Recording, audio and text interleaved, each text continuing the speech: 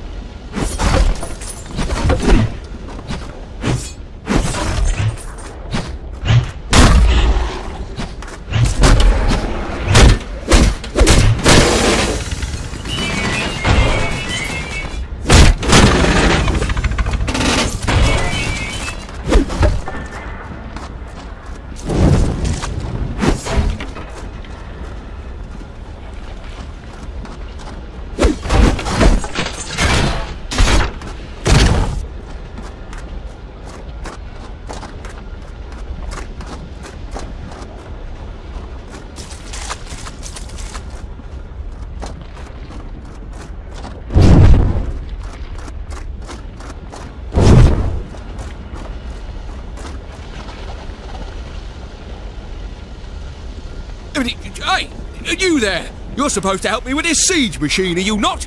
That's enough of your dilly-dallying. I need a copper sprocket. There's one down in a mine somewhere. Come on, make haste! What do you think, I've got all day?